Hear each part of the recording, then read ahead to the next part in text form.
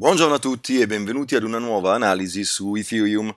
Sono quattro giorni che Marco visita, anche perché sono stato parecchio impegnato fuori Torino, ed ecco che torniamo a vedere un po' la situazione. Prima di tutto, la scorsa settimana vi dicevo, cosa fondamentale, che dato che eravamo arrivati solo a 5 barre di inverso, eravamo qua, ok?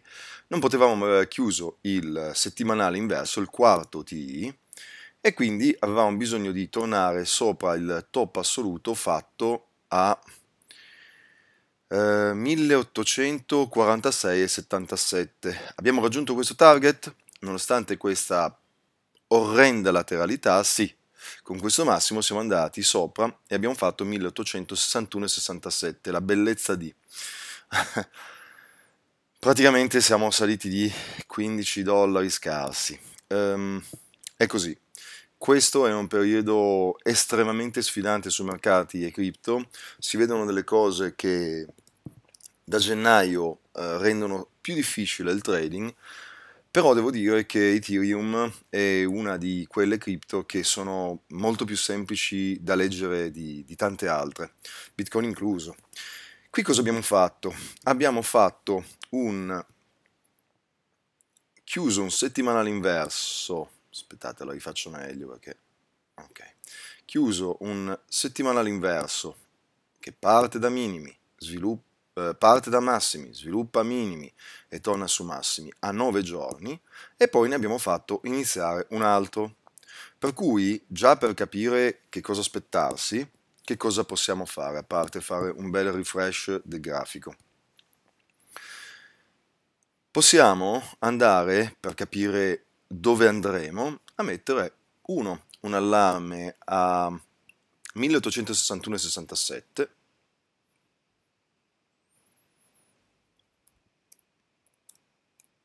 ok, per sapere se si potrà continuare a salire se andremo in violazione dal, da domani in avanti sopra questo massimo, perché vincoleremmo un settimanale inverso a salire, e potremmo ancora avere salita su questo mensile inverso? Allora, da qua a qua abbiamo la condizione necessaria e sufficiente per la chiusura di un mensile inverso da 36 barre, dopo per arrivare al massimo di durata di un mensile inverso, ovvero a 43 barre, abbiamo ancora 7 giorni, qui abbiamo ancora la possibilità, eventualmente se vogliono tirarla in lungo, di fare così un altro baffo a rialzo. Viceversa, che cosa facciamo? Per poter controllare se invece gli basterà questa come chiusura e inizieremo a scendere, è semplice, da dove è partito il nuovo ciclo lato indice da qua, che ha fatto 1, 2, 3 barre, metteremo un altro allarme qua a 1715,17 1715.17 e vedremo se valutare uno short in violazione proprio di questo minimo. Perché? Perché avendo già tre giorni sopra un minimo questo è il minimo e abbiamo tre candele giornaliere, noi abbiamo tutte le condizioni per la partenza di un nuovo settimanale, del secondo settimanale di questo nuovo mensile che ha fatto che cosa però? Ha fatto 11 giorni di indice, un raccordo di grado T-3 tra T settimanali e poi ha fatto partire un altro T settimanale. Simpatici, eh? Ogni tanto abbiamo visto, lo riscontravamo soprattutto qua, vi ricordate, a luglio del 2022, ci ficcavano questi fantastici raccordi dopo l'undicesima, bar, eh, dopo l'undicesima barra e anche qua è successo. Vedete che io mi ricordo tutto, perché? Perché faccio trading davvero, perché non sono un fuffaguru. Il discorso è che quindi bisogna stare in campana, ma noi, grazie a questi due semplici allarmi, sapremo come muoverci. Qui, tra l'altro, facciamo un elimina, ok, questo invece non ci serve più, e grazie a questi semplici allarmi sapremo se partirà un mensile inverso nuovo che ci spingerà verso il basso e ci farà chiudere questo T più 2, oppure finiremo di salire e di chiudere che cosa? Questo mensile inverso che può arrivare fino al 43 giorno e siamo a 38.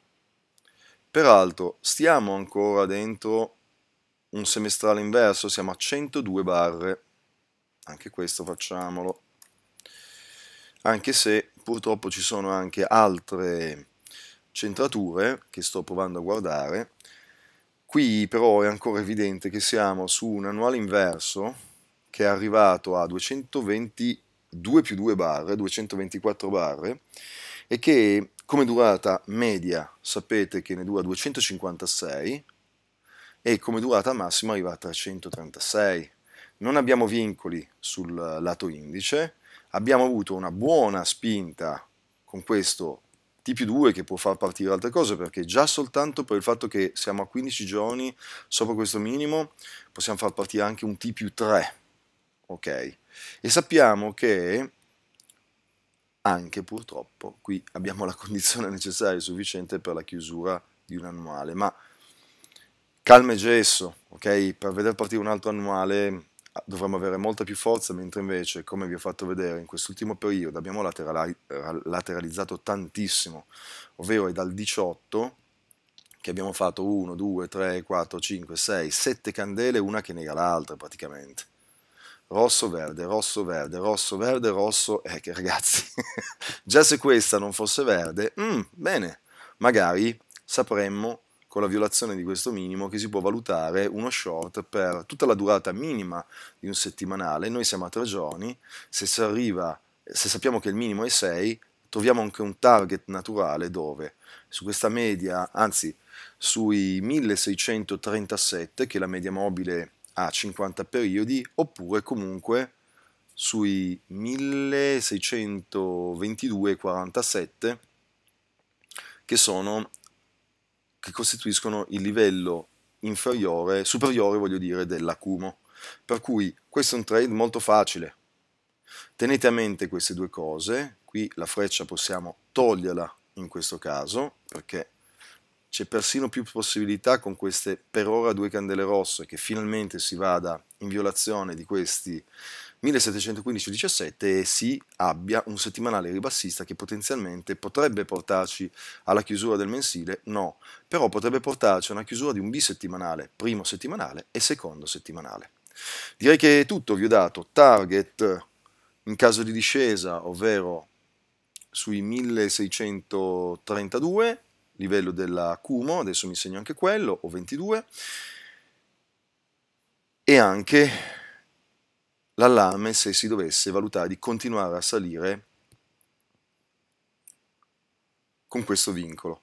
Magari ora come ora è più interessante questo, abbiamo detto 1635. Perfetto, vi ringrazio per il vostro tempo e se l'analisi vi è piaciuta mettete un bel like, ricordate a tutti che c'è una playlist qui sul canale in cui potete andare, si chiama Trading Days, a fare tutto un corso gratuito di analisi ciclica base più un'introduzione all'evoluta e capire di che cosa stiamo parlando con questi T, T più 4, T più 5, T inversi, eccetera, eccetera. Ok?